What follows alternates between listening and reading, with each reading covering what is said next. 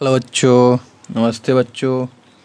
तो आज हम लोग एक new chapter pollution of air जो कि क्लास एट का बच्चों स्टार्ट करने जा रहे हैं, जो कि P O pollution of air new chapter जो कि क्लास क्लास एट्थ का है।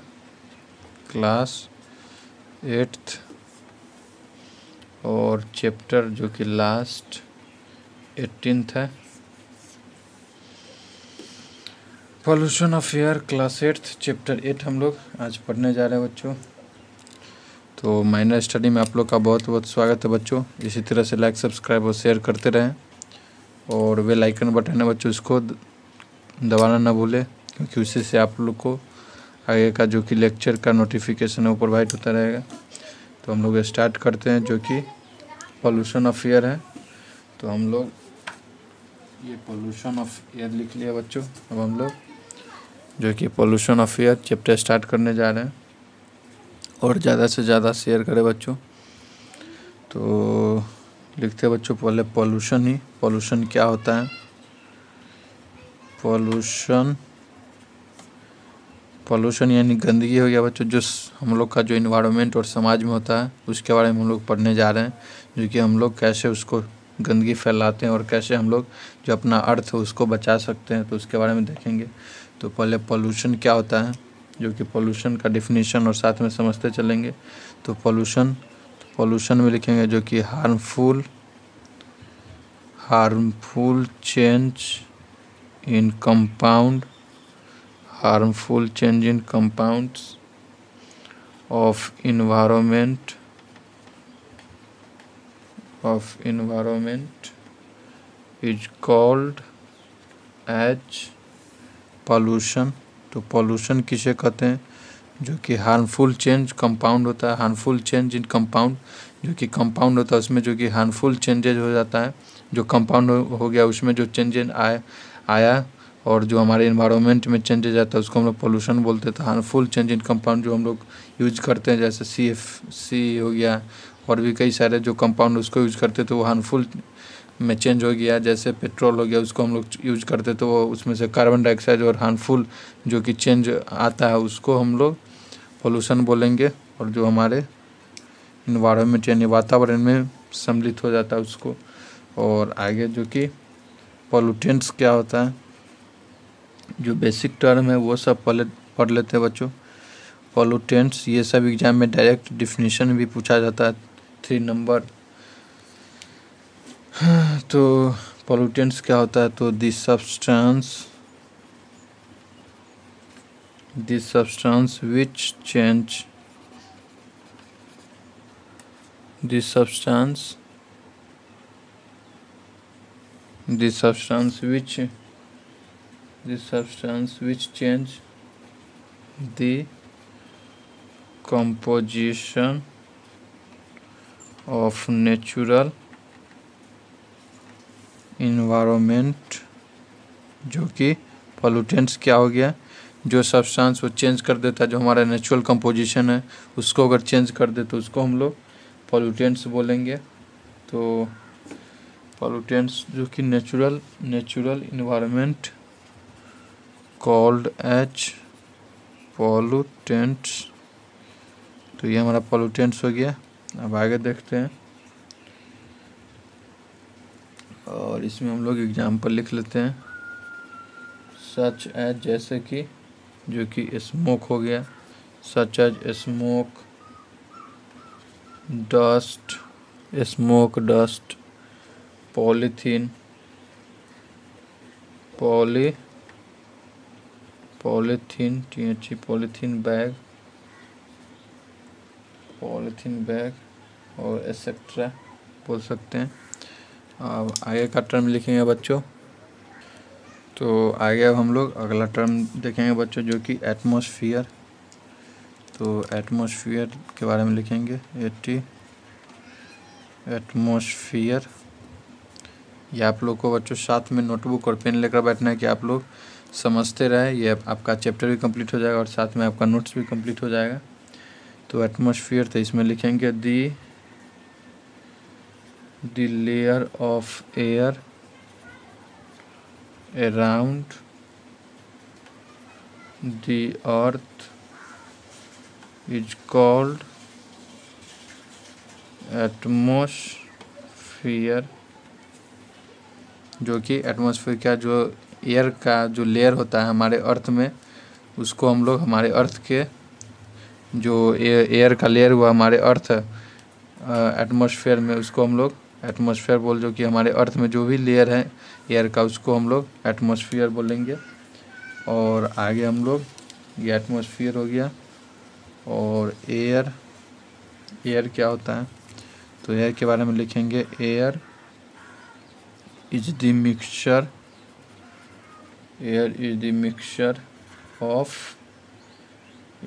gases जो कि एयर क्या है, जो कि डिफरेंट गैसेस हैं, उसका जो मिक्सचर होता है उसको हम लोग, जो सम्मिलित होकर सभी एयर बनाता है।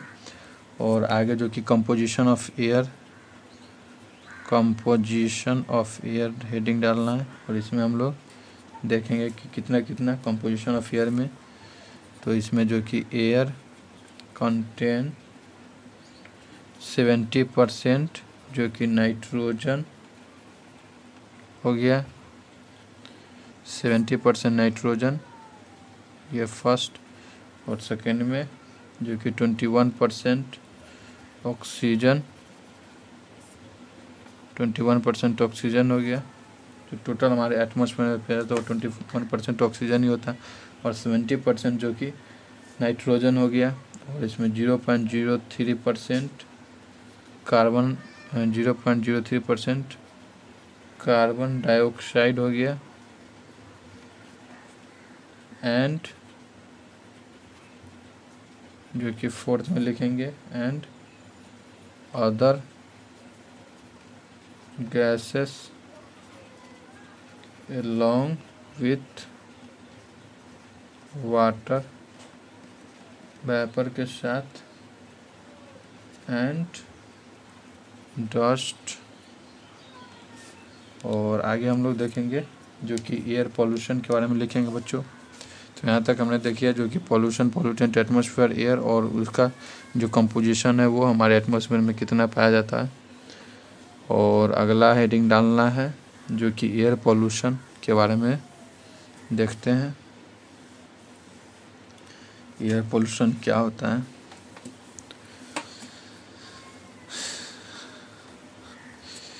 तो एयर पोल्यूशन जो कि अनवांटेड चेंज हो गया है विच हार्मफुल जो एयर पोल्यूशन जो कि हम लोग एयर ही ऑक्सीजन इनहेल करते हैं और कार्बन डाइऑक्साइड एक्सहेल करते हैं बच्चों। तो जब हमारा अगर पोल्यूशन यानी एयर में अगर गंदगी होगा तो हम लोग बीमार तो पड़ेंगे ही। तो उसी के बारे में हम लोग आगे देखने जा रहे हैं, जो कि एयर पोल्यूशन क्या होता है। तो अगला हेडिंग डालना है, जो कि एयर पोल्यूशन एयर पॉल्यूशन और इसके बारे में एयर पोल्यूशन क्या होता है? तो एयर पोल्यूशन में हम लोग को लिखना है जो कि unwanted unwanted change unwanted change which is harmful which is harmful for living and non living के लिए जो कि हार्मफुल हो non living air in air में उसको हम लोग एयर पोल्यूशन बोलेंगे। तो unwanted change which is harmful for जो अनवांटेड चेंज होते रहता है और जो कि लिविंग और नॉन लिविंग के लिए, दोनों के लिए जो कि हार्मफुल है, उसको हम लोग एयर पोल्यूशन बोलेंगे। यहाँ हमने देख लिया। तो हमने अभी तक क्या क्या पढ़ा बच्चों? जो कि पोल्यूशन पोल्यूटेंट्स एटमोसफियर एयर जो कि उसका कंपोजिशन और ये एयर पोल्यूशन और अगला हम लोग जो कि, अगला देखेंगे, जो कि कॉजेज ऑफ़ एयर पोल्यूशन के बारे में। तो अगला हेडिंग डालना है जो कि कॉजेज ऑफ़ एयर पोल्यूशन हम लोग लिखते हैं। कॉजेज ऑफ़ एयर पोल्यूशन जो कि एयर पोल्यूशन किस कारण होता है? जो क्या मेन कॉज है और पोल्यूशन का। तो उसके बारे में देखते हैं। तो इसमें हम लोग लिखेंगे जो कि first excessive burning excessive burning of जो कि कुछ ज़्यादा ही जो फॉसिल फूल होता है उसको हम लोग जलाते हैं तो उसी के कारण होता है। तो excessive burning of fossil fuels जैसे फॉसिल फ्यूल्स कौन हो गया? जैसे कोल हो गया। एक्सेसिव बर्निंग के कारण केरोसिन फ्रोम फैक्ट्रीज और डीजल और डीजल जो कि फॉसिल फ्यूल हो गया, जो कि एक्सेसिव बर्निंग यानी कुछ ज़्यादा ही उसका यूज़ करते हैं। और जैसे कोल हो गया केरोसिन फ्रोम और फैक्ट्री से भी जो निकलता है पोल एयर एयर उसका जो पॉल्यूशन जो जला हुआ जो प्रोडक्ट निकलता है, उसमें से वो कंपाउंड उसको हम लोग इसमें एयर कॉजेज में बोल सकते हैं। और अगला लिखेंगे जो कि सेकेंड इसमें, जो कि ये एक मेन कारण हो गया excessive burning of fossil fuel और सेकेंड जो हो गया स्मोक जो कि स्मोक फैक्ट्री से निकलता है। फैक्ट्रीज एंड व्हीकल से। व्हीकल्स ये व्हीकल्स और थर्ड लिख सकते हैं, जो कि use of certain use of certain substances use of certain substances जैसे क्लोरोफ्लोरो क्लोरो फ्लोरोकार्बन क्लोरोफ्लोरोकार्बन्स और अगला लिखेंगे जो कि कार्बन मोनोऑक्साइड तो अगला हेडिंग लिखेंगे जो कि कार्बन मोनोऑक्साइड हो गया। तो इसमें लिखेंगे कार्बन मोनोऑक्साइड में जो कि its molecular formula its molecular formula is carbon carbon monoxide जो कि इट इज़ ये हाईली रिएक्टिव होता है। जो कार्बन मोनोऑक्साइड वो हाईली रिएक्टिव होता है। इसका मोलिकुलर सी होता है। और ये हो गया हाईली रिएक्टिव कार्बन मोनोऑक्साइड में। सो सो इट इज़ इसलिए ये हाईली पॉइजनस होता है इससे। डेथ भी हो सकता है बच्चों। कार्बन मोनोऑक्साइड अगर अधिकतर मात्रा में हम लोग और इनहेल कर ले तो तो ये हो गया हाईली पॉइजनस और अगला हेडिंग है जो कि harmful effect of carbon monoxide वो लिखते हैं। तो यहाँ पर harmful effect of carbon harmful effect of carbon monoxide इसके बारे में अब हम लोग जो कि हार्मफुल ये तो हो गया कॉज जो एयर पोल्यूशन कॉज करता है। अब जो कि हम लोग जो हार्मफुल जो कि कार्बन मोनोऑक्साइड हम लोग यूज़ करते हैं, उसका हम लोग को डेली लाइफ या हमारे जीवन में और हमारे अर्थ पर क्या उसका प्रभाव पड़ता है, उसका जो हार्मफुल इफ़ेक्ट है, वो हमारे लिए कौन सा हार्म हार्म करता है, जो कि हानि पहुंचाता है तो उसका तो इसमें हम लोग, जो कि harmful effect of carbon carbon monoxide में, जो कि फ़र्स्ट पॉइंट हम लोग लिखेंगे carbon monoxide carbon monoxide जो, जब हम लोग ब्रेथ करते हैं तो तो carbon monoxide when breathe when breathe in जब हम लोग ब्रेथ करते तो अगर ये हमारे, जो कि सांस के साथ मिलकर हमारे जो हम लोग हवा लेते हैं, जो एयर इनहेल करते हैं, उसके अगर साथ ये मिक्स हो गया तो हमारे अंदर में जो कि हम लोग लिखते हैं और समझते चलेंगे तो इन इट तो ये रिएक्ट्स करता है हमारे रिएक्ट्स जो हमारे बॉडी में हेमोग्लोबिन पाया जाता है उससे और ये रिएक्ट करके क्या फॉर्म करता है? रिएक्ट करता है haemoglobin to form a to form a perma form a, permanent form permanent compound में आता है परमानेंट कंपाउंड परमानेंट कंपाउंड बनाता है उसको हम लोग, क्या बोलते हैं? कार्बोक्सी हामोग्लोबिन बोलते हैं। कार्बोक्सी हामोग्लोबिन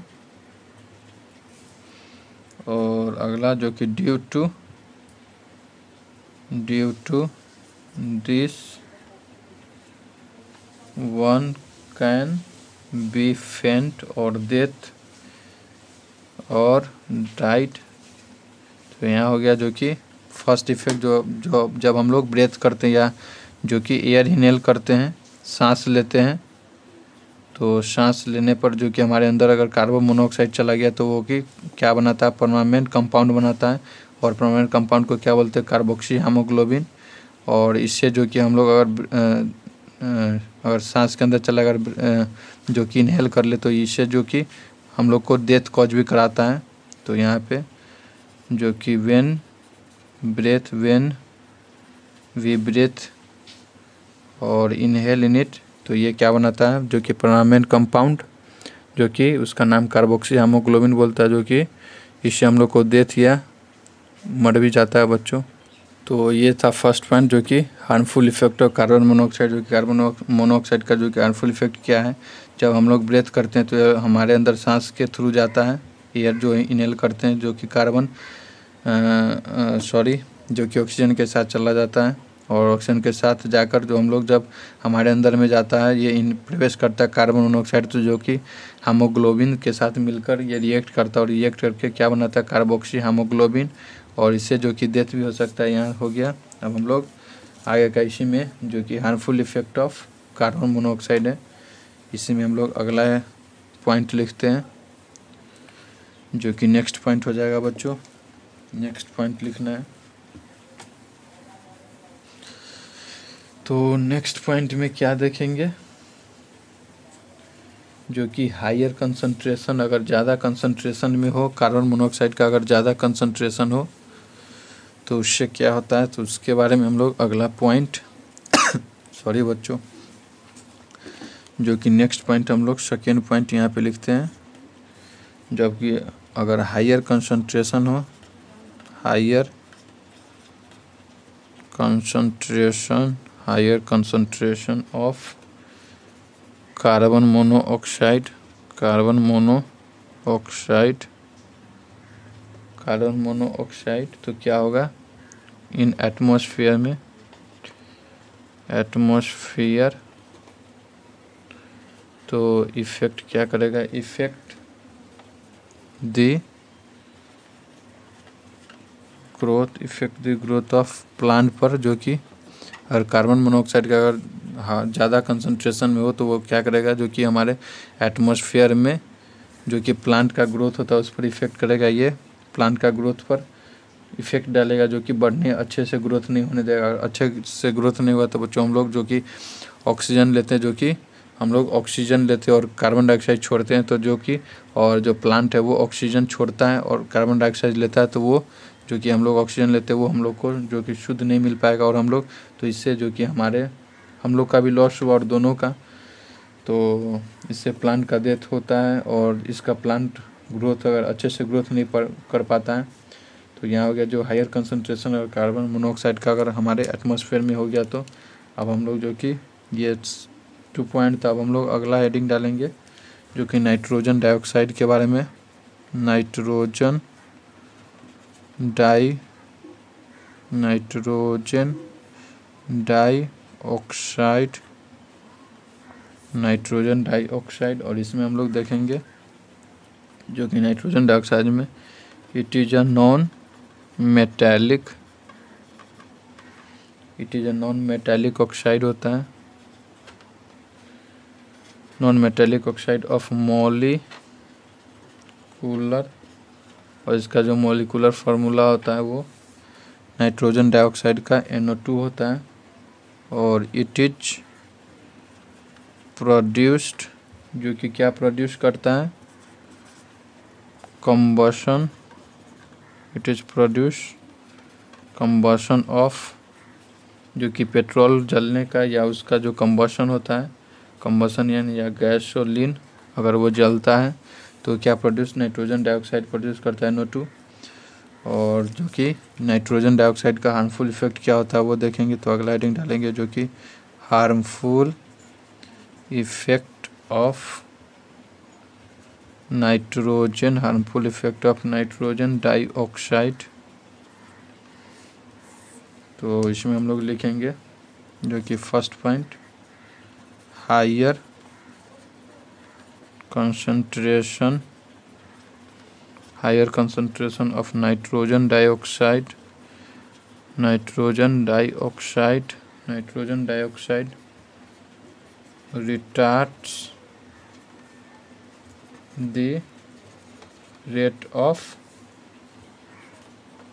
photosynthesis का जो प्रोसेस रहता है उसमें ये संक्षेप या रोकने का काम करता है जो कि नाइट्रोजन डाइऑक्साइड और हायर ये जो कि नाइट्रोजन डाइऑक्साइड का हमारे एटमॉस्फेयर में अगर हाई उसका कंसनट्रेशन हाई हो गया तो क्या जो कि प्लांट फोटोसिंथेसिस करता है, उसको रिटार्ड करेगा, जो कि अच्छे से, जो कि फोटोसिंथेसिस को होने नहीं देगा।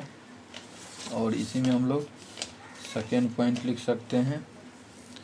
और जो कि अगला एक और है हेडिंग वो पढ़ेंगे, और इसके बाद अगले लेक्चर में हम लोग देखेंगे बच्चों। इट कॉजेज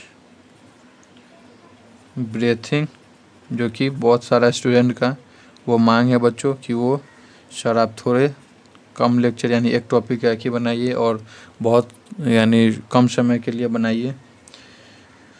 तो मैं आप सभी जो कि आधे आधे घंटा के लेक्चर बनाऊँगा बच्चों। तो आगे हम लोग देखते हैं काम की बात करते हैं जो कि इट कॉजेज जो क्या कॉज करता है ब्रीथिंग ब्रीदिंग इन हुमेन जो कि हुमेन में ब्रीदिंग होता है, उससे ये ब्रीदिंग में और उससे हम लोग को जो कि कई सार का जो बीमारी या ब्रीथिंग ब्रीदिंग से प्रॉब्लम वो होता है तो it causes breathing in human जो कि सांस लेने लेने में तकलीफ़ होती है। और अगला जो कि स्मोग है स्मोक के बारे में देखेंगे। तो अगला एडिंग स्मोक के बारे में। स्मोक क्या होता है तो इसमें हम लोग, जो ये बनता है किससे स्मोक जो हो गया ये बच्चों स्मोक और प्लस फॉग को रिएक्शन यानी इस दोनों में रिएक्शन होता है, ये मिलकर जो कि स्मॉग बनाता है। ये दोनों मिलकर स्मॉग प्लस फॉग मिलकर ये स्मॉग और इसको इसमें इसका डिफिनेशन स्मोक क्या होता है तो यही जो लिखें तो दी मिक्सचर यहाँ पे ये तो बहुत ही आसान है। ये आपको केवल ध्यान रखना है, उसके बाद अपने से जो कि लैंग्वेज बनाकर लिखना है तो the mixture of the mixture of smoke and fog जो कि मिक्सचर होता है किसका स्मोक और फॉग का। और ये कब फॉर्म्ड होता है? फॉर्म्ड ड्यूरिंग जो कि फॉग तो विंटर में होता है तो विंटर में ही होगा तो during winter season winter season उसको हम लोग क्या नाम देंगे? स्मोग नाम देंगे। तो ये हमारा स्मोग हो गया। तो और ये कॉज किससे इसमें इसका कॉजेज भी नीचे पैराग्राफ तो इट कॉजेज ये कॉज क्या करता है? जो कि डिजीजेज हम कॉज करता है। किससे related causes disease relating relating to जो कि हमारा लंग्स से ये स्मोक है वो कॉज करता है। टू रिलेटेड टू लंग्स जैसे कि रिलेटेड लंग्स के जो बीमारी होता है वो कौन हो गया? जैसे ब्रोंकाइटिस हो गया। ये बीमारी हो गया लंग्स से रिलेटेड अस्थामा हो गया, अस्थामा और एक्सेट्रा जो कि स्मोक से हम लोग को विंटर सीज़न में जो कि ये होता है स्मोक प्लस फॉग मिलकर स्मोक बनाता है इससे और ये जो कि मिक्सचर होता है स्मोक और फॉग का इसको हम लोग स्मोक बोलते हैं और इसके क्या, जो कि लंग से रिलेटेड ये, जो कि बीमारियाँ होता है, जैसे कि ब्रों ब्रोंकाइटिस और अस्थामा हो गया, ये सब किससे स्मोक से हम लोग को होता है। तो अभी के लिए इतने बच्चों, नमस्ते बच्चों, फिर से अगले लेक्चर में हम लोग सी एफ़ सी के आगे जो कि बात करेंगे। तो माइनस टेन में आप लोग का बहुत बहुत स्वागत है। इसी तरह से लाइक सब्सक्राइब और शेयर करते रहें और वे लाइकन बटन दबाना न भूले बच्चों। तो अगले लेक्चर में हम लोग फिर से सी एफ़ सी के साथ मिलते हैं। तो अभी के लिए इतने बच्चों। नमस्ते बच्चों।